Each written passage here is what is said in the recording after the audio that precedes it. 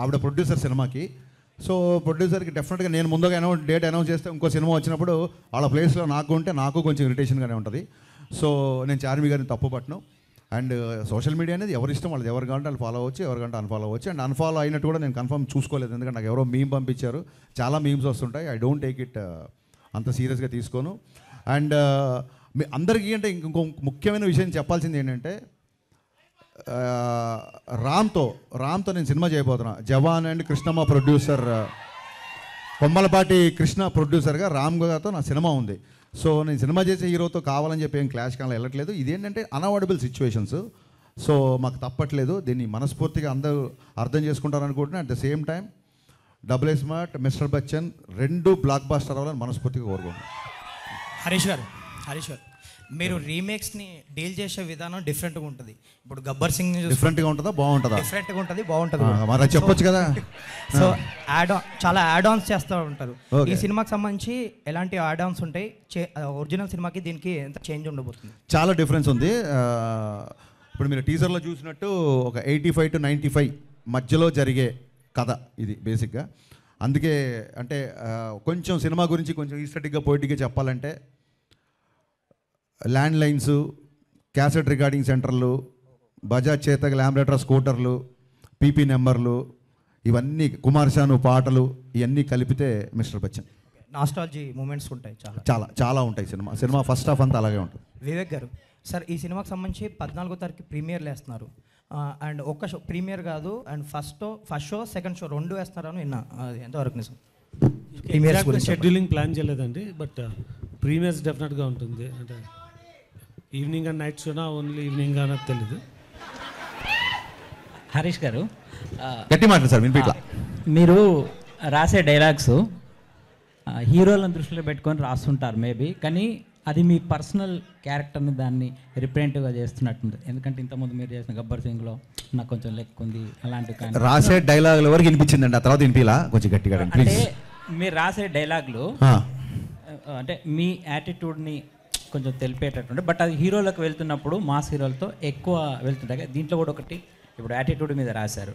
అదంటే మీ ఇవి మీరు ముందే ఈ డైలాగ్ స్టోర్ చేసుకొని పెట్టుకుంటారా? ఇలాంటి కథలు దొరికినప్పుడు పెట్టడానికి? అంటే ఒక డైలాగ్ రైటర్గా ఆ సిచ్యువేషన్కి ఏం చెప్తే బాగుంటుంది నేను ఫస్ట్ ఆలోచిస్తాము. ఇంకోటి మీరు అన్నది ఏంటంటే నా డైలాగులు నా పర్సనాలిటీకి సూట్ అవుతాయి అని అంటున్నారు నేనే కాదు సార్ ఎవడైనా సరే పొద్దున్న లేచి అద్దంలో మోహన్ చూసుకొని నేను హీరో అనుకుని బయలుదేరతా తప్ప నేను హీరో అనుకుని బయలుదేరారు కదా. హరీష్ శంకర్ గారు. హాయ్. ఇది ఇందులో మీరు ఏమన్నా గెస్ట్ అపియరెన్స్ చేశారంటే వెనక పోస్టర్లో చూస్తుంటే మీరు కూడా ఉన్నారు కదా. ఎస్ అండి గెస్ట్ అపీరెన్స్ చేశాను. అది పోస్టర్ వరకు మాత్రమే పరిమితం. Poster okay. ఇంకోటి మీరు ఇప్పుడు అమితాబ్ బచ్చన్ ఫ్యాన్గా చూపిస్తున్నారు కదా రవితేజ గారిని. అలా ఆయన ఆల్రెడీ అమితాబ్ బచ్చన్ ఫ్యాన్గా ఒక సాంగ్ చేశారు ఐదేళ్ళ వయసుకి అమితాబ్ బచ్చన్ ఫ్యాన్ అని. ఇందులో వింటేజ్ లుక్లో చూపించి చేయడానికి మీరు ఎంత ఇది యా ఇందులో ఇంతకుముందు రవితేజ గారు చేయనివి చాలా ఐటమ్స్ ఉన్నాయి బచ్చన్ గారిని బేస్ చేసుకొని. సో అవి చాలా ఎంటర్టైనింగ్ అవి ముందు చెప్తే బాగుంది డెఫినెట్గా స్క్రీన్ మీద you love it okay wish all the best thank you అండి. Thank you so much Bhagyashree గారు. Welcome to Tollywood thank you thank you you are too cuter than cute word so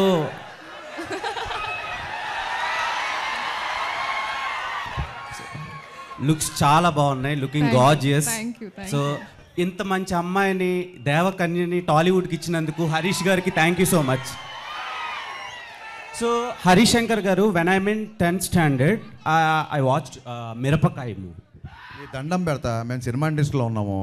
నేను LKG అప్పుడు మీ fan ten అని చెప్పకండి బాబు. ఎందుకే మాకు అనవసరం? ఇప్పుడు బలవంతంగా మా ఏజ్ బయట పెట్టిస్తారండి మీరు.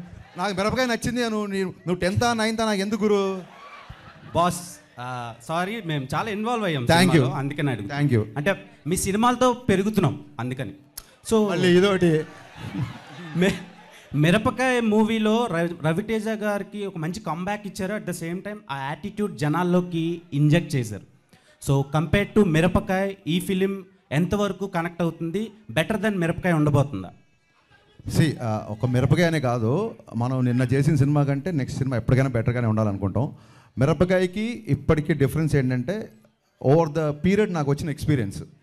సో డెఫినెట్గా ఈ సినిమా టేకింగ్ పరంగా కానీ సినిమాటోగ్రఫీ కానీ మా ఐనంక బోస్ విజువల్స్ కానీ మిక్కీ జమేర్ మ్యూజిక్ కానీ మిరపకాయకి అన్నిటికంటే కూడా అంటే మిరపకాయలో ఉన్న ప్రతి అంశానికంటే కూడా ఎంటర్టైన్మెంట్ అవ్వచ్చు హీరో క్యారెక్టరేషన్ అవ్వచ్చు అన్నీ ఒక దానికి మెజర్మెంట్ లేదు కొల కొలమానం లేదు కానీ డెఫినెట్గా హండ్రెడ్ టైమ్స్ బెటర్గా ఉంటుంది సినిమా చాలా better and KGF editor Ujwal Kulkarni గారిని. తీసుకున్నారు. టెక్నికల్గా ఏడు ఉజ్వల్ ఏడి?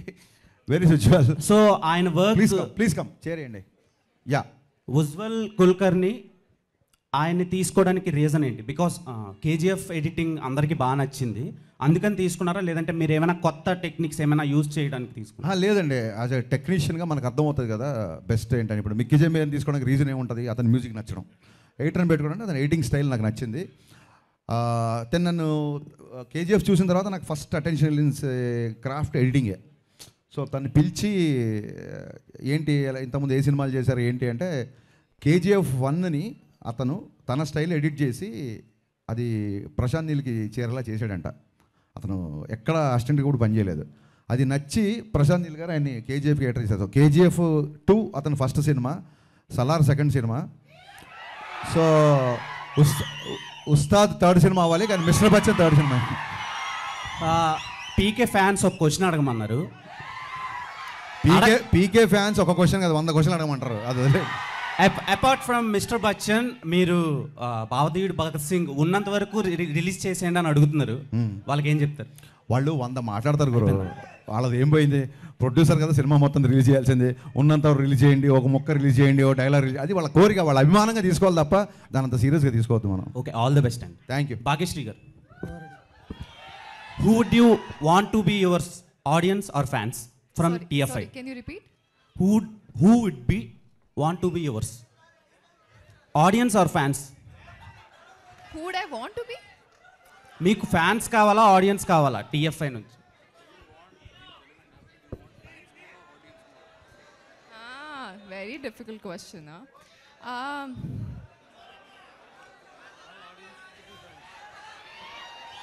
ఒక్క నిమిషం ఒక్క నిమిషం so I want everyone to love me for who I am. And secondly, the audience to be my fans and the fans to be my audience. It has to be both.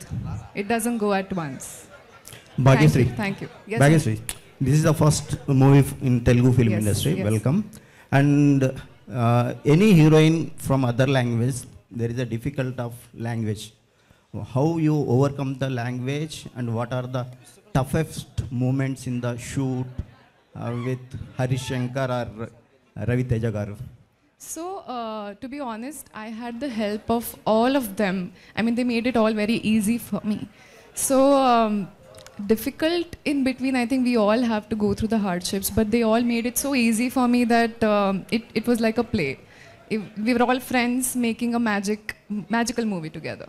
And your movie is not release it so far but you gain the lot of fans in the Telugu film industry how are you feeling that చాలా చాలా చాలా grateful చాలా grateful Harish garu sir Harishankar గారు ఇక్కడ ఇక్కడ హరీష్ గారు ఇక్కడ sir shock తర్వాత మిరపకాయకు ఒక ఐదు సంవత్సరాలు పట్టింది గ్యాప్ వచ్చింది మధ్యలో. తర్వాత గద్దలకొండ గణేష్ దగ్గర అక్కడి నుంచి మిస్టర్ పజ్జన్ రావడానికి మళ్ళీ ఇంకో ఐదు సంవత్సరాలు పట్టింది. మధ్యలో పవన్ కళ్యాణ్ గారిది ఉన్న వన్ వీక్ నాకు తెలిసి వన్ మంత్ జరుగుతుంది ఏంటి సార్ ఈ గ్యాప్ అక్కడ ఫైవ్ ఇయర్స్ ఇక్కడ ఫైవ్ ఇయర్స్ అంటే మనకి ఆన్సర్ తెలియనప్పుడు వచ్చేదాన్నే గ్యాప్ అంటారు. ఇంకా దానికి ఆన్సర్ లేదు.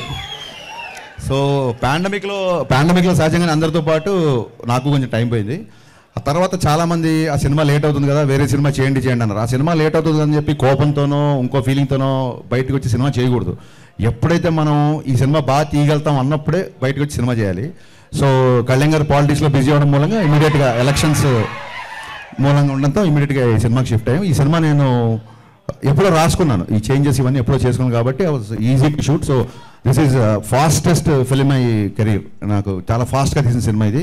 దీనికి వన్ అండ్ ఓన్లీ రీజన్ మా ప్రొడ్యూసర్ విశ్వప్రసాద్ గారు. ఏ రోజు కూడా డెబ్బై ఎనిమిది రోజులు షూటింగ్లో ఏ రోజు కూడా షూటింగ్ ఆగకుండా uh, అంత ఫాస్ట్గా ఫినిష్ చేసామంటే మేము అడిగిందే కాదు మేము అడిగిన దానికంటే కూడా ఎక్కువ ఇచ్చారు విశ్వ గారు. అందుకే ఇంత ఫాస్ట్గా సినిమా చేశాం హరీష్ గారు. మీరు మీరు రవితేజ గారు అమితాబ్ బచ్చన్ గారు ఫ్యాన్స్ అనే ఈ టైటిల్ పెట్టారా? లేకపోతే రిలవెంట్ ఉంటుందా స్టోరీకి ఏదైనా? ఇప్పుడు మేము చాలా మందికి ఫ్యాన్స్ అలా అని చెప్పి అన్ని టైటిల్స్ పెట్టలేం కదా. హరీష్ హరీష్ కథ కథాపరంగా కథాపరంగా ఒక చిన్న పిట్ట కథ ఉంటుంది కథలో అందుకు అండ్ వన్ మోర్ థింగ్ ఏంటంటే ఈ టైటిల్ పెట్టింది రవితేజ గారే. మిస్టర్ బచ్చన్ టైటిల్ ఆయనే పెట్టారు మిరపకాయ టైటిల్ కూడా అప్పుడు ఆయనే పెట్టారు. సో సెంటిమెంట్గా కూడా కలిసి వచ్చింది. ట్విట్టర్లో ట్విట్టర్లో మీరు ఒక యుద్ధం చేస్తున్నారు. ట్విట్టర్లో యుద్ధం చేస్తున్నారు. మీరు ఒక మా సీనియర్ జర్నలిస్ట్. యుద్ధం ఆగిపోయిందా సార్? సీనియర్ జర్నలిస్ట్ ఎవరు? ఆయన ఇక్కడే ఉన్నాడు వెళ్ళిపోయారా? ఆ, మూర్తి గారు. ఆ, అయిపోయిందండి? అయిపోయింది ఆ యుద్ధం ట్విట్టర్ చూడండి అయిందో లేదో కంటిన్యూ అవుతుంది మీకు తెలుస్తుంది. పొద్దున ఇంటర్వ్యూ ఇచ్చారు కదా ఆయనకి. సార్ ట్విట్టర్కి ఒక లాంగ్వేజ్ ఉంటుంది సార్ అక్కడే మాడుకుందాం ఇక్కడ ఓన్లీ ఇక్కడే మాడుకుందాం హరీష్ గారు హరీష్ గారు ఇక్కడ అండి ఇక్కడ హరీష్. హరీష్ సార్ ఇది ఇప్పుడు మీరు మీ మొదటి సినిమా నుంచి మీడియా వాళ్ళు చాలా సపోర్టివ్గా ఉన్నారు. అవును. అలాంటి వాళ్ళతోని చాలా అబ్యూజివ్ వర్డ్ యూజ్ చేసి ట్విట్టర్లో కామెంట్ చేయడం ముసలి నక్క అని అనడం ఎంతవరకు సమంజసం. ఇది ఎలా ఉందంటే సార్ ఇది ఎలా ఉందంటే గుమ్మడికాయల దొంగ అంటే భుజాలు తొడుగునట్టు ఉంది first of all first of all మీరు అన్నమాటే మళ్ళీ చెప్తున్నా జర్నలిస్టులందరికీ మళ్ళీ చెప్తున్నా నేను నా సక్సెస్ ఒక సిక్స్టీ పర్సెంట్ అనుకోండి అది ఒక ఎయిటీకో నైంటీకో వందకో రీచ్ అవ్వడానికి కారణం ఖచ్చితంగా మీరందరూ ఆ సినిమా సక్సెస్ అయినప్పుడు దాన్ని పది మందిలోకి తీసుకెళ్ళి మీరు చేసిన ప్రమోషన్. ఇందులో డౌటే లేదు. దానికి నేను సదా ఎల్లకాలం మీకు రుణపడి ఉంటా. నేను అక్కడ నేను పెట్టిన ట్వీట్లో ఎక్కడ జర్నలిస్ట్ అని కానీ పాత్రికేయుడు కానీ అనలా. అది మీరు ఖచ్చితంగా గుర్తుపెట్టుకోవాలి. అట్ ద సేమ్ టైం ఒక ఇండివిజువల్ని ఐడెంటిఫై చేస్తున్నప్పుడు అది ప్రొఫెషన్ కాదు బేసిక్గా అండ్ అబ్యూజివ్ వర్డ్స్ అని అన్నారు కదా మీరు. ఏ రోజు జర్నలిస్ట్లో నేను అబ్యూజివ్ వర్డ్స్ యూజ్ చేసినా మీరు ప్రూవ్ చేస్తే ఆ రోజు ఇప్పుడు చెప్పినట్టు థ్యాంక్స్ కాదు. సాష్టాంగ నమస్కారం చేసి క్షమాపణ కోరుకుంటాం. కానీ ఏదైనా ఏదైనా ఇష్యూ ఉంటే అండి ఫోన్లో కానీ ఇంకా పర్సనల్ కానీ మాట్లాడుకోవచ్చు. అదే సార్ మీరు కూడా ఫోన్లోనో పర్సనల్గానో మా డీటెయిల్స్ బయట పెట్టారనుకోండి ఆ ఇష్యూయే లేదు. మీరు పబ్లిక్గా ట్విట్టర్లో పెట్టారు కదా సో ట్విట్టర్లోనే సమాధానం ఇవ్వాల్సి ఉంటుంది. హరీష్ గారు సార్. అంటే మీ కాంబినేషన్కి ఒక ఎనర్జీ ఒక్క నిమిషం. ఆ, మళ్ళీ చెప్పండి సార్. సార్. మీ కాంబినేషన్కి ఒక ఎనర్జీ ఉంది సార్. అంటే మీ డైలాగ్స్ కానీ మీ హీరో క్యారెక్టరైజేషన్స్ కానీ చాలా ఎంటర్టైనింగ్గాను ఎనర్జెటిక్గా ఉంటాయి. రవితేజ గారికి మీ కాంబినేషన్కి ఒక ఎక్స్పెక్టేషన్స్ ఉంది కదా ఆ అంచనాలని మిస్టర్ బచ్చన్ ఎంతవరకు రీచ్ అవుతుంది? సి అంచనాల్ని దాటేయాలనే చాలా కష్టపడ్డామండి. సో ముందే తొడగొట్టడం ఇవన్నీ కరెక్ట్ కాదు. సినిమా చూసిన తర్వాత అంచనాలు దాటేసేసారని మీరే అంటారని నాకు గట్టి నమ్మకం అండి. అవును విశ్వ గారు కూడా ట్వీట్ చేశారు. ఆయన అడగండి మీరు క్వశ్చన్ నన్ను అడుగుతారు ఏంటి? విశ్వప్రసాద్ గారు సార్ అంటే సార్ ఫాస్టెస్ట్ ఫిల్మ్ అన్నారు. ఇప్పుడు మీ ప్రొడక్షన్ హౌస్లో బ్రో కూడా చాలా ఫాస్ట్గా చేశారు. మిస్టర్ బచ్చన్ కూడా ఫాస్ట్గా చేశారు. అంటే ఎలా సార్ అంటే టీమ్ సెట్ అయిందా? లేకపోతే మీ ప్రొడక్షన్ హౌస్ మీద కూడా చాలా కామెంట్స్ వినిపిస్తూ ఉంటాయి. కానీ మీ కంటిన్యూస్గా ప్రాజెక్ట్స్ మొత్తం రిలీజ్ అవుతున్నాయి ఏం చెప్తారు? అంటే కామెంట్స్ గురించి నాకు తెలియదు అండి. అంటే అది చెప్తే దాన్ని క్లారిఫై చేయగలను. బట్ uh, ఈ మూవీ అనుకున్న ప్లాన్ షెడ్యూల్ ప్రకారమే మేము కంప్లీట్ చేయగలిగినాం. అంటే నవంబర్ డిసెంబర్లో we plan to start April make shooting అయిపోతుంది అనుకున్నాము. కాకపోతే కొన్ని సాంగ్స్ లొకేషన్ సెట్ కాకపోవడం వల్ల జూలై వరకు షూట్ అవ్వాల్సి వచ్చింది. రిలీజ్ డేట్ మాత్రం అంటే uh, డేట్స్ చూస్తున్నప్పుడు ఈ డేట్స్ కరెక్ట్గా OTT availability and release dates ప్రకారం దీనికి వచ్చినాం. కాకపోతే కొంచెం ఈ డేట్కి రావడం వల్ల కొద్దిగా లాస్ట్ మినిట్ స్క్వీజ్ ఉంది డెఫినెట్గా but plan original schedule plan అయితే స్టార్ట్ చేసిన రోజు ఏమనుకున్నామో అదే షెడ్యూల్లోనే వెళ్తున్నాం. రిలీజ్ డేట్ ఫిక్స్ అయిపోయినట్టేనా సార్? రిలీజ్ డేట్ ఫిక్స్ అయినా ఆగస్ట్ ఫిఫ్టీన్ ఏమన్నా మళ్ళీ? ప్రీమియర్ ఫిఫ్టీన్త్ రిలీజ్ సార్ ఈగలకు కూడా అలాగే జరిపారు కదా. ఈగలను కూడా పండక్కని మళ్ళీ పోస్ట్ పోన్ చేశారు కదా. అంటే ఈగల్ సిచ్యుయేషన్ వేరండి ఇప్పుడు సిచ్యుయేషన్ వేరు. ఇప్పుడు ఫైవ్ డేస్ హాలిడేస్కు రెండు పెద్ద సినిమాలు వస్తున్నాయి మేబీ ఫ్యూ మోర్ అంటే ఒక తమిళ సినిమా ఒక చిన్న సినిమా వస్తుండొచ్చు. సో డెఫినెట్గా మన theatre system can support all these movies అండి. సార్ విశ్వ విశ్వప్రసాద్ గారు. సార్ సార్ ఇప్పుడు మీరు చాలా సెన్సిటివ్గా ఉంటారు. మాట్లా ఒక మాట మాట్లాడాలంటే చాలా ఆలోచించి మాట్లాడినట్టు ఉంటుంది అలాంటిది ట్విట్టర్లో మీరు ప్రొవోకేటివ్గా సోషల్ మీడియాలో ప్రొవోకేటివ్గా ఒక ట్వీట్ వేయడానికి మిమ్మల్ని ఎందుకు అలా ప్రొవోక్ చేస్తున్నారు? బ్రో నుంచి ఇది స్టార్ట్ అయింది బ్రో సినిమా నుంచి. మీరు పవన్ కళ్యాణ్కి సపోర్ట్ చేయడం వలన లేదంటే ఏదైనా పొలిటికల్ యాంగిల్ ఉందని అనుకుంటున్నారా? అంటే మీరు నిన్న ట్వీట్ గురించి చెప్తున్నారండి లేకుంటే అంటే ఇన్ జనరల్గా నిన్న క్లీన్ అండ్ స్ట్రైట్ ఆన్సర్ ఉంటుందండి. సో నిన్న వేసిన tweet it was a very clear and straight మా ప్రైవేట్ ఇన్ఫర్మేషన్ బయటికి పెట్టకండి అంతే. సో విశ్వప్రసాద్ గారు అంటే ఇప్పుడు మిస్టర్ బచ్చన్ మీరు కంటిన్యూగా మూవీస్ చేస్తున్న ప్రొడక్షన్ హౌసెస్లో మేబీ టాప్ ప్లేస్లో మీరు ఉంటారు. సో అంటే ఇంత ఫ్రీక్వెంట్గా అంటే కంటిన్యూగా మూవీస్ చేయాలి అన్న ఇంట్రెస్ట్ ఎందుకు వచ్చింది? అంటే ఎప్పటి నుంచో మీరు మూవీ ఇండస్ట్రీలోకి రావాలనుకుంటున్నారు బట్ ఆ పెద్ద పెద్ద స్టార్స్ తోటి ఎక్కువ సినిమాలు చేస్తున్నారు. సో మీ మోటివ్ ఏంటి అసలు? అంటే మేము బిజినెస్ స్టార్ట్ చేసిన ఒక ఫ్యాక్టరీ మోడల్ అన్న కాన్సెప్ట్ అండి. మేము చాలా బ్యాలెన్స్గానే చేస్తున్నాము అంటే పెద్ద మూవీస్ చేస్తున్నాము చాలా చిన్న మూవీస్ కూడా చేస్తున్నాం. సో మా బిజినెస్ మోడలే కంటిన్యూస్గా చేస్తూ ఉండడం అండి అయితే మీ ప్రొడక్షన్ నుంచి ఒక ఖాళీ లాంటి మూవీ కూడా వస్తుంది. అది నిజంగా మీ ప్రొడక్షన్ నుంచి రావడం అనేది చాలామంది షాక్ అయిన విషయం. ఇట్లాంటి ఒక మూవీని చేస్తున్నారు అని చెప్పి. సో ఆ కాన్సెప్ట్ని యాక్సెప్ట్ చేసేటప్పుడు ఏమనిపించింది? అది కొంచెం రిస్కీ కాన్సెప్ట్ కదా. అంటే ఇది నాట్ ద రైట్ ఫోరం మా ఖాళీ గురించి ఉన్నప్పుడు డెఫినెట్గా దాని బ్యాక్గ్రౌండ్ చెప్తాను ఎందుకు చేయాల్సి వచ్చింది అన్నది. ఆ నా మాకు ఎందుకు ఇంట్రెస్ట్ వచ్చింది అన్నది ఆ ప్లాట్ఫామ్లో డెఫినెట్గా డిస్కస్ చేద్దాం. షూర్ షూర్ హరీష్ గారు హరీష్ గారు. హరీష్ గారు హరీష్ గారు. హరీష్ భయ్య మీరు రీమేక్స్ అన్నింటినీ బెటర్ మేక్స్ కింద తీస్తున్నారు. అట్లాగే మీ మొదటి సినిమా నుంచి చూస్తే అప్కమింగ్ హీరోయిన్ అవ్వచ్చు లేకపోతే కొత్త హీరోయిన్ అవ్వచ్చు. ప్రతి హీరోయిన్ మీ సినిమా తర్వాత పర్టికులర్లీ వాళ్ళకి బెటర్ ఫ్యూచర్ కూడా వస్తుంది. అది ఎలా సాధ్యం అవుతుంది? మీ సినిమాలో మీరు వాళ్ళకి ఏమి నేర్పిస్తున్నారు? వాళ్ళు ఎలా తయారవుతున్నారు?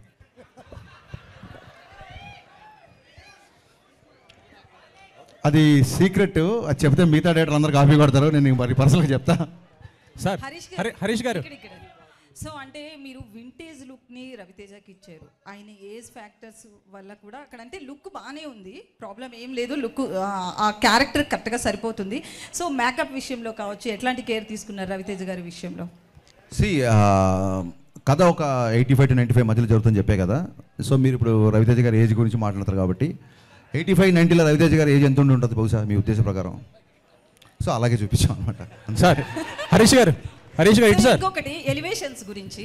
ఎలివేషన్స్ విషయంలో రవితేజ గారు ఇంతకు ముందు సినిమాల్లో కూడా ఎలివేషన్స్ కొన్ని కొన్ని సినిమా టైగర్ నాగేశ్వరరావు ఇలాంటి వాటిలో ఎక్కువైపోయాయి. డోస్ కొంచెం పెరిగింది మీరు మూవీ చూసుంటే. సో ఎలివేషన్స్లో యాజ్ ఏ డైరెక్టర్ కూడా మీరు టాప్ నాచ్ ఉంటారు. సో ఎలివేషన్స్ ఎలా ఉంటాయి ఈ సినిమాలో?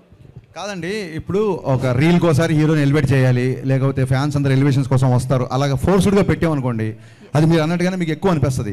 ఎక్కడెక్కడైతే సందర్భం ఉందో ఎక్కడెక్కడైతే అంటే ఈ హీరో పాత్ర ఇందులో హీరోయిజం ఏంటంటే హానెస్టీ అండి. ఒక నిజాయితీ గల ఆఫీసర్ ఇందులో సిన్సియారిటీ నిజాయితీయే హీరోయిజం సో దాన్ని ఎక్కువ ఎలివేట్ చేసాం అండ్ మీకు టీజర్లో అలా అనిపిస్తుంది తప్ప సినిమాలో ఓన్లీ మూడే ఫైట్లు ఉన్నాయి. ఏడు ఫైట్లు ఎనిమిది ఫైట్లు అలా లేవు. సినిమాలో మూడే ఫైట్లు ఉన్నాయి. So more of hero elevation కంటే కూడా అతని క్యారెక్టర్ ఎలివేషన్ ఎక్కువ ఉంటుంది సినిమాలో. At the same time most entertainment ఎక్కువ ఉంటుంది సినిమాలో. ఒక- ఒకటి ఒకటి లాస్ట్ వెకెట్ లాస్ట్ అయితే సాంగ్ విషయంలో ఆ స్టెప్స్ కొంచెం బాగా మీమ్స్ కూడా వెళ్ళినట్లున్నాయి కదా. రవితేజ గారు భాగ్యశ్రీ చేసిన స్టెప్స్. సో ఏంటి ఆ- మూమెంట్ చెప్పినప్పుడు కొరియోగ్రాఫర్ మీకు ఏమనిపించింది ఇలాగే మీమ్స్ వెళ్తాయి అనుకున్నాను వెళ్ళినాయి. హర్- హరీష్ నేను Venkat ten TV sir. August ఫిఫ్టీన్త్న మీదును ఇటు ఆ, పూరి గారి సినిమా వస్తుంది. చెప్పే కదా ఇందాకే. Okay okay. నేను నేను అనేది ఏంటి పూరి గారు కనుక ఒకవేళ మీకు కాల్ చేసి సినిమా పోస్ట్ పోన్ చేసుకోండి అంటే మీరు చేసుకుంటారా? ఏమండి? పూరి గారు కనుక.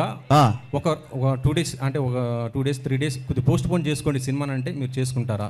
పూరి గారు పూరి గారితో మీకున్న రిలేషన్ కంటే నాకున్న రిలేషన్ ఎక్కువ అండి సో ఆయన కనుక ఒక విషయాన్ని కాల్ చేసి చెప్తున్నాడంటే అది పర్సనల్గా మా ఇద్దరి మధ్య అవుతుంది. ఆ కాల్ వచ్చింది నైన్ నైంటీ పర్సెంట్ నాకు తెలిసిన ఆయన అలాంటి కాల్స్ చేయడు ఫస్ట్ ఆఫ్ ఆల్. సో మీరు చాలా బాగా ట్రై చేశారు. నేనేమన్నా నేనేమనుకున్నా అంటే దీన్ని రెండు రౌండ్లు పెడదాం అనుకున్నా. ఒకటేమో క్యాజువల్ రౌండ్ ఇంకోటేమో కాంట్రవర్సీ రౌండ్ సో కాంట్రవర్సీ రౌండ్లోకి వెళ్ళినప్పుడు మనం ఈ క్వశ్చన్కి ఆన్సర్ చేస్తాం. అంతే అంటారా? హరీష్ గారు, హరీష్ విశ్వప్రసాద్ గారు. గారు విశ్వ విశ్వ- విశ్వ గారికి అడుగుతున్నాను సార్. హైపోథెటికల్ క్వశ్చన్స్ ఎందుకంటే జరిగాయి ఇప్పుడు. అది ఆయన చేసిన తర్వాత కనుక మేము ఏమైనా చేయకపోతే అలా అనవచ్చు. ఆయన్ని కాల్ చేస్తాడా అని అంత పెద్ద డైరెక్టర్ని మీరు పోస్ట్ పోన్ చేసుకుని ఆయన అడుగుతాడా? మీరు ఆయన అవమానించినట్టు కదా ఇలా క్వశ్చన్ వేస్తే నేను ఆయన అవమానించలేదు సార్. అంటే ఇంటర్నల్గా జరుగుతుంటాయి కదా సార్ మన సినిమాల గురించి. అడగొద్దండి తప్పు. నన్ను అడగండి. మీరు కనుక పూరి గారిని రిక్వెస్ట్ చేస్తారా? నన్ను అడగండి. ఆయన కంటే నాకు చాలా చిన్నోని కాబట్టి నన్ను అడగండి మీరు. ఆయన అడగొద్దండి ప్లీజ్ విశ్వ గారు విశ్వప్రసాద్ గారు. ఒక్క నిమిషం సార్. విశ్వ గారు ఆ, సినిమా గురించి బిజినెస్ గురించి మొన్న ఒక నిన్న ఒక ట్విట్ చేశారు కదా.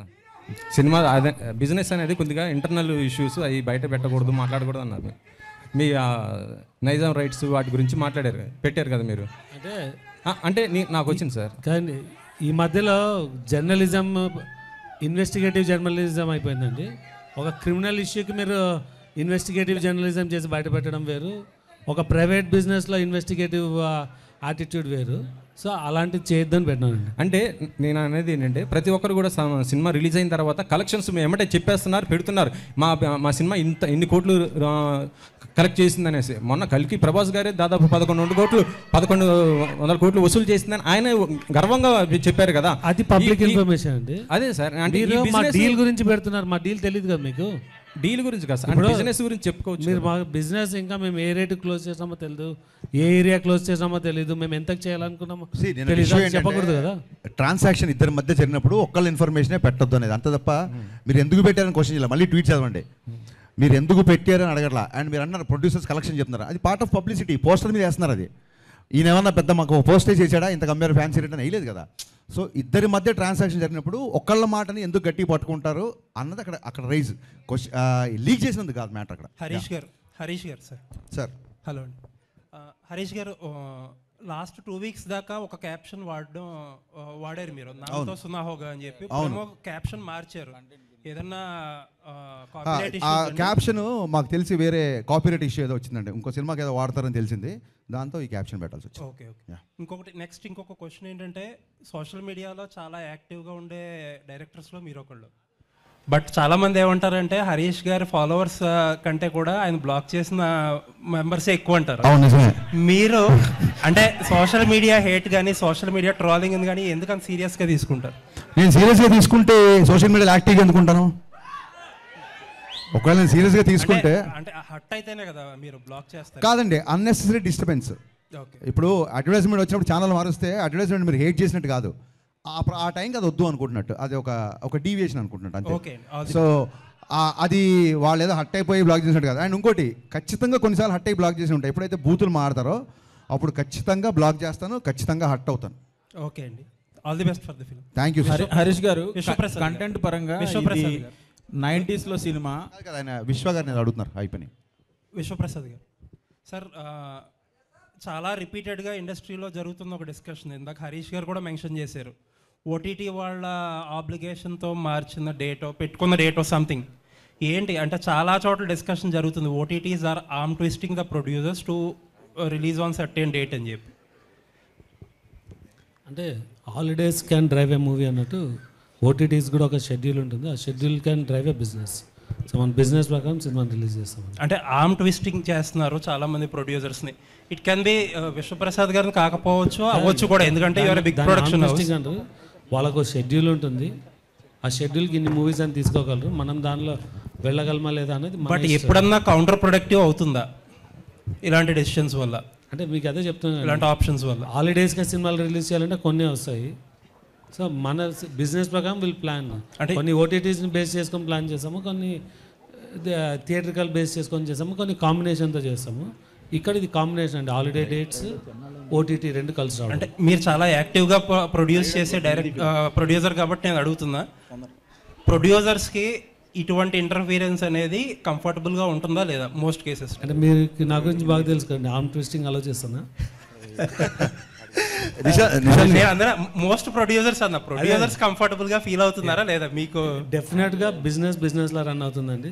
ఎవరు ఆర్మ్ ట్విస్ట్ చేసినా బిజినెస్ వర్క్ అవుతుంది అది two way win win situation ఉండాలి ఆల్వేస్ లుకింగ్ ఫార్వర్డ్ అండి ఫర్ ద ఫిల్మ్ నిశాంత్ గారు నాకు ఇందాక మీరు హట్ అవుతున్నారు అంటే నాకు సడన్గా మీరు మీరు ఆ క్వశ్చన్తో గుర్తొచ్చింది. ఇది మిమ్మల్ని క్వశ్చన్ చేయడం కాదు లేదా మిమ్మల్ని నిలదీయడం కాదు. But I want always ask this Yes, sir. ఏమైందంటే సుమ గారు ఒకసారి స్నాక్స్ గురించి ఒక కామెంట్ చేసినప్పుడు మీరు ఆవిడ కాదు క్వశ్చన్ Actually, ఆ, ఆ, actually వినండి. చాలా మంచి సార్ వినండి. మీరు చాలా బాగా అడిగారు నా ఫినిష్ నన్ను ఫినిష్ చేయని చెప్పండి సార్ సో డెఫినెట్గా ఎందుకంటే మీరు అడగడం తప్ప మీరు క్వశ్చన్ వెళ్ళే వాళ్ళు మీకు ఎక్స్పీరియన్స్ ఉండదు కాబట్టి మీరు మధ్యలో కట్ చేస్తున్నారు. ఒకసారి పూర్తిగా వినండి. Sir. సుమ గారు స్నాక్స్ గురించి ఏదో కామెంట్ చేసినప్పుడు మీరు హట్ అయ్యారు. సో ఐ అప్రిషియేట్ దట్ నన్ను నేను తిన్నప్పుడు కూడా ఎవరైనా అట్లా మాట్లాడితే నేను హట్ అవుతా. మీరు హట్ అవడంలో టూ హండ్రెడ్ పర్సెంట్ న్యాయం ఉంది. నేను వినండి సార్ మళ్ళీ మీరు వినట్లేదు సార్ మీరు వినట్లేదు సార్ సో ఏంటంటే ఒక చిన్న ఫుడ్ విషయంలో మీరు దీన్ని ఇలా స్నాక్స్లా తినే బదులు భోజనాలు చేసినప్పుడు మీరు హట్ అయ్యారు. అది ఎమోషన్స్తో ఉంటాం సార్ మీరైనా మేమైనా అందరం ఒకటే కదా. అలాంటిది ట్విట్టర్లో కొన్ని కొన్ని కామెంట్స్ ఎలా ఉంటాయంటే పేరెంట్స్ని ట్యాగ్ చేస్తూ లేదా ఇంకోటి బూతులతో ఉంటుంది. సో హర్ట్ అవడం అనేది సహజం. అది మీకు అర్థమైంది అనుకుంటా. నెక్స్ట్ థింగ్ ఆ తర్వాత మీరు ఏం చేశారంటే ఆవిడతో మీరు ఎందుకంటే నాకు ఓన్లీ మీ వీడియోనే చూశాను మిగతా జర్నలిస్ట్ ఎవరు రియాక్ట్ అయ్యారు లేకపోతే వాళ్ళందరి తరఫున మీరు రియాక్ట్ అయి ఉంటారు. హండ్రెడ్ పర్సెంట్ కరెక్ట్ ఆవిడతో సారీ ఏదో చెప్పించారు. ఇట్స్ ఓకే అది ఆవిడ అలా డే టు డే ఈవెంట్స్ చేస్తుంటారు. రోజుకు రెండు మూడు ఈవెంట్లు కూడా చేస్తుంటారు. పాపం ఆవిడ ఎక్కడో ఆడియన్స్ ఎంకరేజ్ ఎంటర్టైన్ చేద్దాం అన్న దాంట్లో ఒక మాట దొర్లి ఉంటారు. నేను కాదనట్లేదు. ఒక ఆడపిల్లతో సారీ చెప్పించారు యాక్సెప్టెడ్. కానీ మీ సురేష్ కొండేటి నాకు మొహమాటం లేదు. సురేష్ కొండేటి ఒక ఆడపిల్లని క్వశ్చన్ చేసినప్పుడు మీరు అతనితో కూడా సారీ చెప్పించాలి కదా? జస్ట్ చెప్పించాం, చెప్పించాం, చెప్పించాం. అకౌంటబిలిటీ లేదు. చెప్పించాం. నిశాంత్ గారు నిశాంత్ గారు. అకౌంటబిలిటీ లేదండి. అకౌంటబిలిటీ మీకు కానీ. మీకు కానీ. ఇంకోళ్ళు కానీ ఎవరికి అకౌంటబిలిటీ. ఒక ఆడపిల్లని అన్నప్పుడు ఒక ఆడపిల్ల కాదు కాదు ఒక ఆడపిల్ల అన్నప్పుడు సారీ చెప్పించారు నో డౌట్ ఒక ఆడపిల్లని అన్నప్పుడు కూడా సారీ చెప్పించాలి కదా సురేష్ కొండేటితో మీరు? అవునండి. నేను చెప్తానండి నేను చెప్తాను. ఒకటి టూ థింగ్స్ ఐఎమ్ డన్ అండి నేను నేను మధ్యలో కట్ చేయను మీరు చెప్పండి. నేను టూ థింగ్స్ అని చెప్పేది. ఫస్ట్ ఆఫ్ ఆల్ సుమగారు ఆ వేళ నన్ను అడ నన్ను అనలేదు. ఎందుకంటే I came very late to the event and ఆ రోజు నేను ఫాస్టింగ్లో ఉన్నా బట్ దట్ సెకండరీ బట్ నేనేంటంటే ఒక one fifty members of media పర్సన్స్ని వాళ్ళ తరపున మాట్లాడా. సరే రైట్ రాంగ్ అనేది సబ్జెక్టివ్ అది ఎవరు తీసుకునేది వాళ్ళది. అండ్ ఇంకొకటి సుమగారిని సారీ ఈ రోజు కూడా సుమగారు అని అంటాను ఆ రోజు అదే అన్నాను. అవునండి. ఆవిడ మీద ఎప్పుడూ రెస్పెక్ట్ ఉంటుంది. అండ్ ఆవిడ తర్ ఆ ఇన్సిడెంట్ తర్వాత ఆవిడతో మాట్లాడడానికి ఆ టాపిక్ గురించి ఎప్పుడూ ట్రై చేయాల. నాకు తెలిసి అయితే ఎవరో మరి ఆవిడ చేత సారీ ఎవరు చెప్పి అది కరెక్ట్ అంటున్నా అది కరెక్ట్ అంటున్నా నేను. యా ఇంకొకటి ఏంటంటే మీరు ఇంకొకటి ఏదో ఒక జర్నలిస్ట్ గురించి నేను పేరు చెప్పడం మొహమాటం లేదండి, నేను చెప్తాను సురేష్ కొండేటి. యా, యా, చెప్తున్నారు. మీకు తెలుసో లేదో నాకు నేను అంటే నేను ఆయనకి చెప్పే ఆయన సీనియర్ కాబట్టి నేను చెప్పకూడదు కానీ బట్ ఐ థింక్ సో ఇప్పుడు ఆల్రెడీ అసోసియేషన్స్ ఉన్నాయి దానికి తగ్గట్టు కొన్ని స్టెప్స్ అయితే తీసుకున్నారు కూడా. Thank you for your patience అండి. Thank you thank you so much apart ఈ కాంట్రవర్షియల్స్ పక్కన పెడితే కంటెంట్ పరంగా కంటెంట్ పరంగా ఇది రియల్ ఇన్సిడెంట్ ఎక్కడో నార్త్లో జరిగింది. ఛానల్ అయింది ఇప్పుడు మీరు ప్రజెంట్ సినిమా తీస్తున్నారు కాబట్టి ఇక్కడ ఈ పర్టికులర్ మన స్టేట్స్ సంబంధించి ఎవరినన్నా రిజంబులెన్స్ ఉందా? ప్లస్ కొత్తగా అడ్వాన్స్డ్ ఇన్కమ్ ట్యాక్స్ రైట్స్ సంబంధించి చాలా టెక్నాలజీ మారిపోయింది. చాలా కొత్త కొత్తగా అది కూడా జరుగుతుంది కరప్షన్స్ కానీ బ్లాక్ మనీ గురించి కానీ ఇందులో ఏం కొత్తగా ఉండబోతుంది? ఇందులో బేసిక్గా ఒక అంటే చాలా సినిమాల్లో ఒక సిన్సియర్ కాప్ని చూపిస్తాం లేకపోతే ఒక సిన్సియర్ కలెక్టర్ ఆఫీసర్ చూపిస్తాం కదా. దీంట్లో ఫస్ట్ టైం ఒక సిన్సియర్ ఐటీ ఆఫీసర్ అనేది కంటెంట్ నాకు బాగా నచ్చింది. చాలా సిన్సియర్గా ఉంటాడు. అంటే ఆ రోజుల్లో ఎయిటీస్లో జరిగింది రిలయన్స్. అంటే ఆ రోజుల్లో తనకి చాలా డబ్బు ఆఫర్ చేసినా సరే తను తను రిజెక్ట్ చేసి సిన్సియర్గా తను బ్లాక్ మనీని బయటికి తీసుకొచ్చే ఒక ఆ ప్రాసెస్ బాగా నచ్చింది. సో కరెంటుగా ఇప్పుడు జరిగే పద్ధతులు కానీ ఇప్పుడు జరిగే ఐటీ రేట్స్ దీనికి కానీ సంబంధం లేదండి. కరెక్ట్గా ఆ టైంలో జరిగితే ఎలా ఉంటుందో అలాగే చేశాను ఎందుకంటే ఇప్పుడు మొబైల్ ఫోన్స్ వచ్చి చాలా రూల్స్ మారిపోయినాయి కమ్యూనికేషన్ మారిపోయింది. ఇప్పుడు ఈవెన్ మ్యానిపులేషన్ కూడా మారిపోయింది. సో కరెంట్ దానికి దీనికి ఏం సంబంధం లేదండి. మాకు ఉన్న కాంట్రవర్సీలు చాలు మేము కొత్త కాంట్రవర్సీలు పెట్టుకోదలుచుకోలేదు. హరి హరీష్ గారు ఇక్కడ లక్ష్మీనారాయణ హరీష్ గారు ఇటు ఇటు. హరీష్ అన్న. ఒకటి ఇన్కమ్ ట్యాక్స్కి సంబంధించి ఒరిజినల్గా ఇన్కమ్ ట్యాక్స్ డిపార్ట్మెంట్లో జరిగే ఇష్యూస్ ఏమైనా చూపిస్తున్నారా? ఒకటి ఒక ప్రశ్న. రెండో ప్రశ్న సురేష్ కొండరెడ్డి గురించి మాట్లాడారు కాబట్టి ఒకటి ఒకటి అడుగుతాం. అడగండి సార్. ఫిలిం క్రిటిక్స్ అసోసియేషన్కి మీరు ఒక లెటర్ ఇవ్వండి. ఓకే. యాజ్ అ డైరెక్టర్గా. దాన్ని ఫిలిం క్రిటిక్స్ అసోసియేషన్ వాళ్ళు ఏమైనా యాక్షన్ తీసుకుంటారేమో చూద్దాం. ఓకే? రెండో ఇంకోటి ఇంత ఇంతమంది డైరెక్టర్లు ఉండగా ఇండస్ట్రీలో హరీష్ శంకర్ అనే వ్యక్తి ఎందుకు కాంట్రవర్సీ అవుతున్నాడు?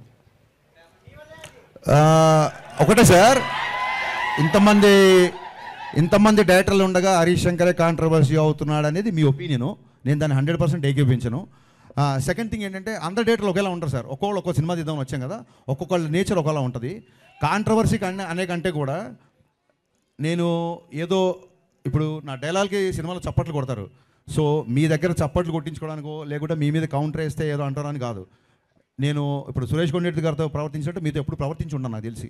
అలాగే ఇంకోళ్ళతో ఇంకోళ్ళతో ఇంకోళ్ళతో ఎప్పుడు ప్రవర్తించి ఉండను. అండ్ కమింగ్ టు ఎప్పుడు ఎక్కడైతే నిజాయితీ ఉంటుందో అక్కడ వాల్యూమ్ ఎక్కువ ఉంటుందండి. ఆ గొంతుకు వాల్యూమ్ ఎక్కువ ఉంటుంది. సో గతంలో జిహెచ్ఎంసీని ట్యాగ్ చేస్తూ కానీ లేకుంటే డ్రైనేజ్ సిస్టమ్స్ కానీ ఒక చోట అనాథరైజ్ కన్స్ట్రక్షన్ జరుగుతుండే మా ఇంటి పైన వాళ్ళు చిన్నపిల్లలు నిద్రపోకుండా ఏడుస్తుంటే రైట్ అంతా వాళ్ళు కాంక్రీట్ వర్క్ చేస్తుంటే కానీ నేను ట్వీట్ చేశా. సో బేసిక్గా కొంచెం కన్సర్న్ ఉన్నవాళ్ళు డెఫినెట్గా అదేమంటారు చెట్లున్న అది పళ్ళున్న చెట్టుకి రాళ్ళ దెబ్బలు ఉంటాయి కాబట్టి కాంట్రవర్సీలు ఓకే విశ్వ విశ్వప్రసాద్ గారు. హరీష్ గారు, ఒక్క. నిమిషం బ్రదర్ ఒక్క నిమిషం. విశ్వప్రసాద్ గారు. ఈ సినిమాలో నల్లధనం గురించి చెప్తున్నారు. ఈ దేశంలో మొత్తం కార్పొరేట్ వ్యవస్థ దగ్గరనే నల్లధనం ఉన్నది. ఈ ఈ సినిమా మీరు ఏ ధనంతో సినిమా తీసిండ్రు? బ్రదర్ ఆగండి ఒక్క నిమిషం. వినండి వినండి ఇప్పుడు యా నే-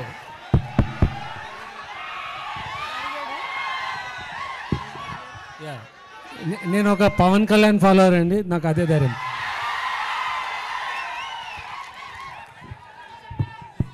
సార్ ఒక క్వశ్చన్. మీరు ఈ రీమేక్స్ ఆప్ మీకు మీకే? ఈ రీమేక్స్ ఇప్పుడు ఆపేస్తారా? లేకపోతే ఇంకా కంటిన్యూ ఇలాగే రీమేక్స్ చేస్తుంటారా సినిమాలన్నీ కూడా రీమేక్ చేస్తూ చేస్తున్నారు కదా. మీకు. రీమేక్ డైరెక్టర్ అని పేరు సోషల్ మీడియాలో బాగా thank you for the compliment అన్ని బ్లాక్ బస్టర్ కొట్టారు మీరు. హిట్ సక్సెస్ గురించి కాదండి. హిట్. సక్సెస్ గురించి కాదు. Hmm. Thank you for asking this నేనే చెప్దాం అనుకున్నా బట్ నాకు సరైన సందర్భం రాలేదు. ఒక సినిమా తీయడానికి ఒక నవల అవ్వచ్చు ఒక కథ అవ్వచ్చు ఒక పద్యం అవ్వచ్చు ఎక్కడో వచ్చిన ఒక పేపర్లో ఒక న్యూస్ అవ్వచ్చు.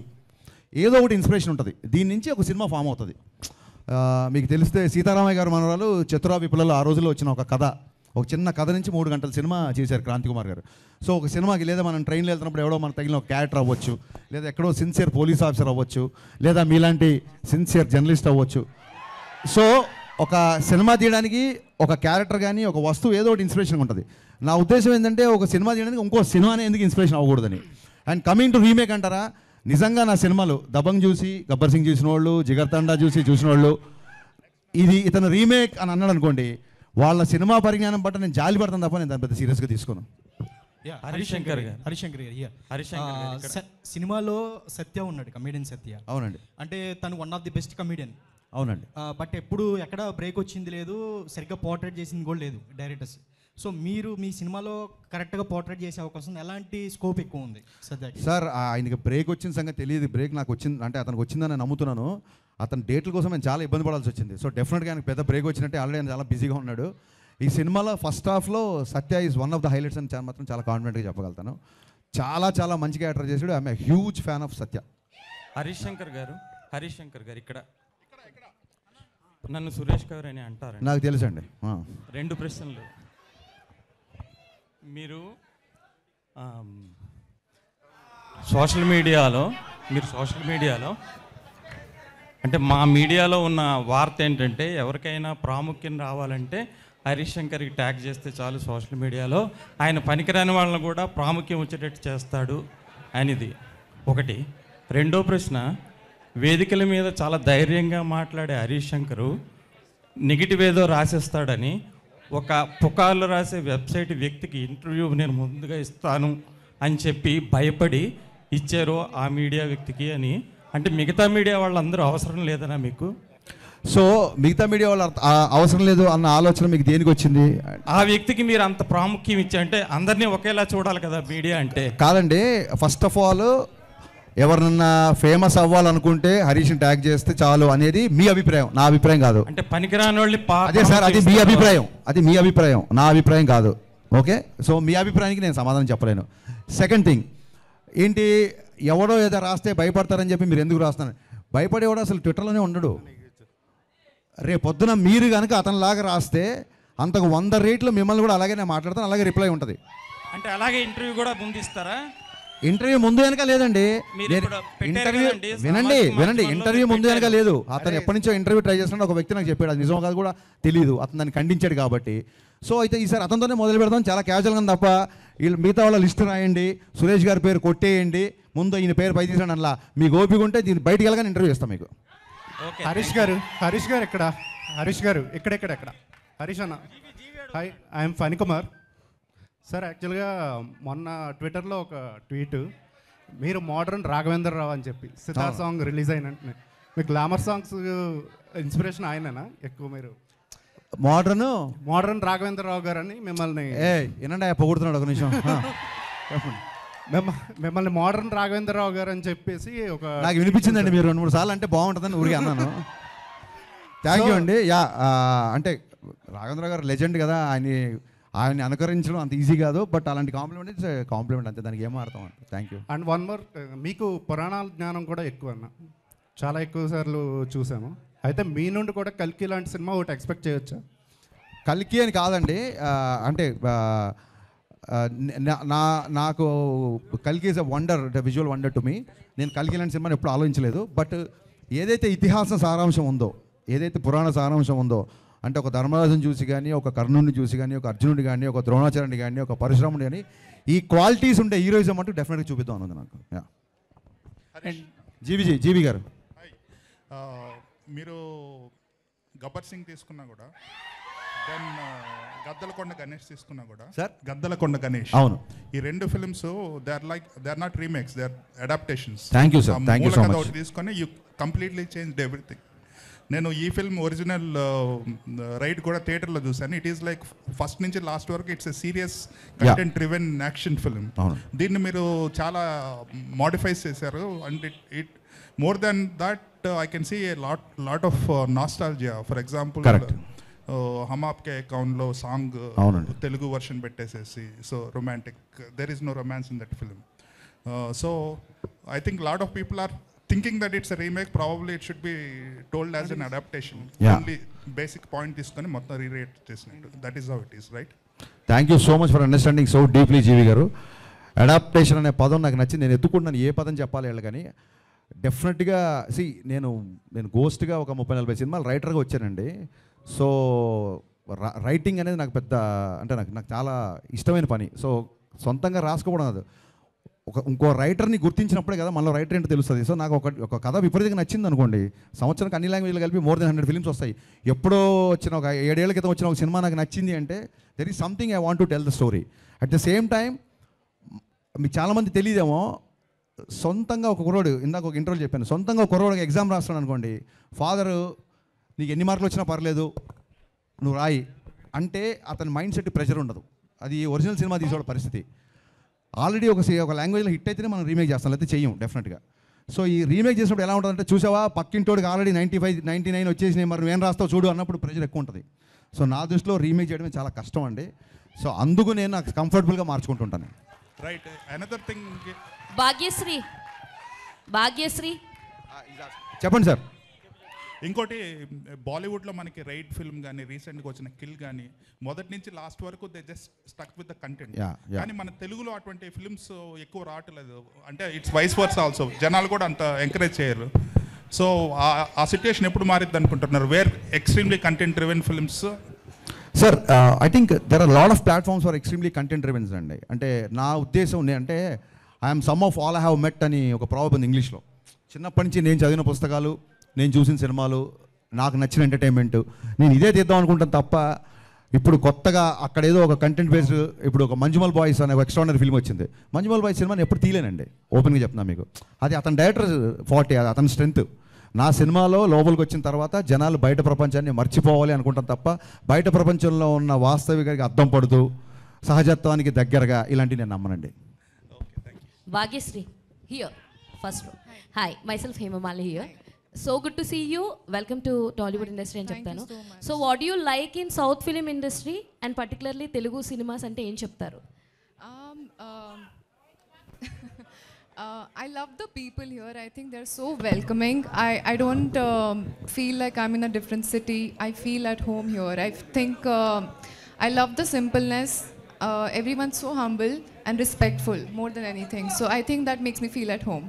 So, and uh, how is working with uh, Harish Garu and your first movie actually, working with Harish Garu? Ante, he's my first director. So, um, he'll always hold a special place in my life because um, obviously going forward, I will meet a lot of directors uh, with beautiful scripts, but um, there's always that one special director who puts faith in you and gives you that chance and introduces you to this world. And I think I'm beyond grateful to him for that. And there is one news that I don't know whether it is true or not. So you got a chance of Eagle movie uh, before people media ఫ్యాక్టరీలోనే Eagle movie chance మీకు వస్తే రవితేజ గారితో చేసేది you rejected అని చెప్పి ఒక news circulate అయింది Sorry, is I it don't know true about that news.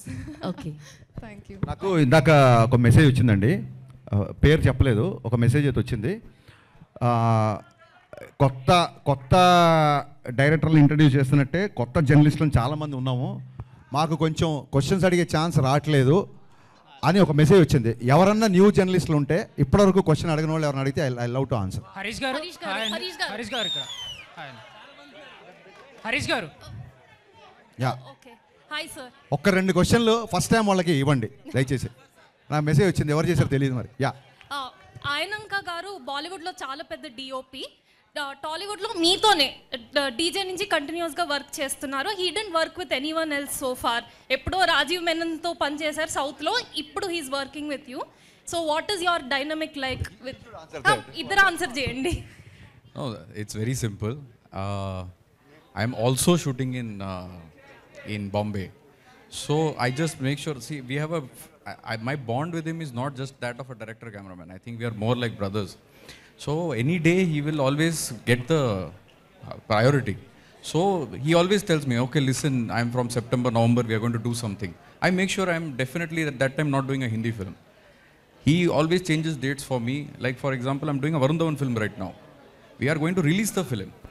We still have five days of work left. Look at him. Instead of taking release pressure, he shifted five days of shooting for me. So when he can do like this, you definitely know that I will do something. No, this is there is something unsa- unspoken, amazing uh, relationship we have.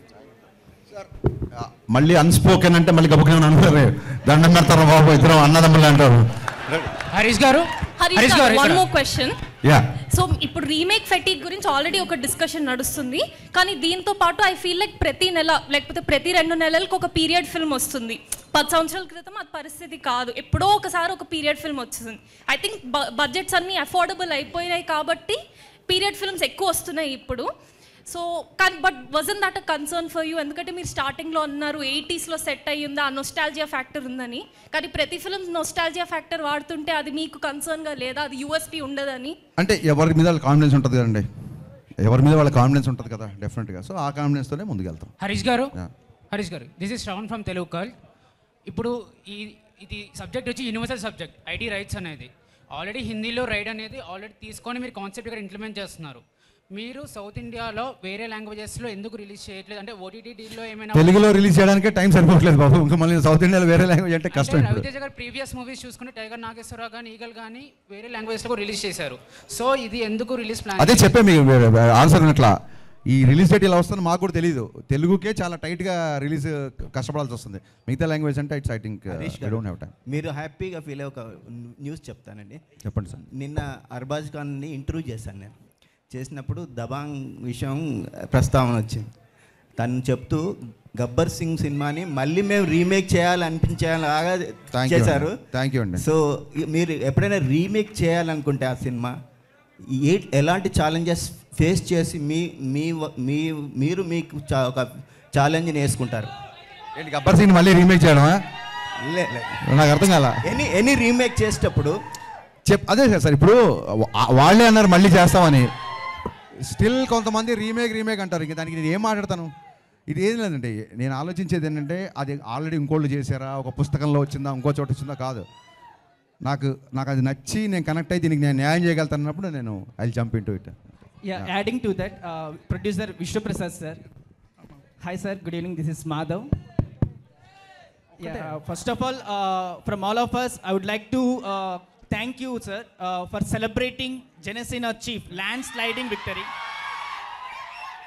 పదేళ్ళ కష్టం hundred percent strike and landsliding విక్టరీని industry తరపున celebrate చేసిన ఏకైక వ్యక్తి మీరే. మా అందరి తరపున కూడా హృదయపూర్వక శుభాకాంక్షలు అండ్ అండ్ హరిశంకర్ గారు.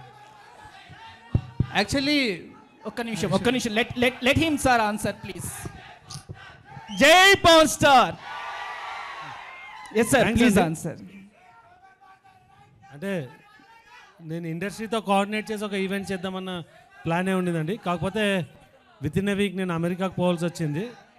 అందుకే అంటే లార్జర్ స్కేల్లో కాకుండా జస్ట్ అంటే నాకు తెలిసిన సర్కిల్తో చేయగలిగినాను. So that's the event to celebrate and we want to celebrate yes sir Harish Shankar గారు. అన్న. హరీష్ అన్న అన్న thanks to you as well Harish అన్న thanks to you as well yeah Harish yeah actually మీ దాంట్లో మాస్ అండ్ కమర్షియల్ థింగ్స్ ఎలా అయితే చూపిస్తారో I really love your the art of romance actually so what's the rhythm in it అంటే ఏం చెప్తారు?